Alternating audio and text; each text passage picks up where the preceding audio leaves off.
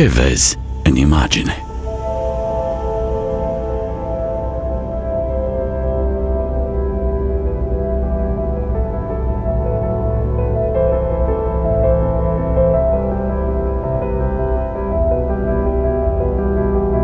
Un gay sau legenda muzicii?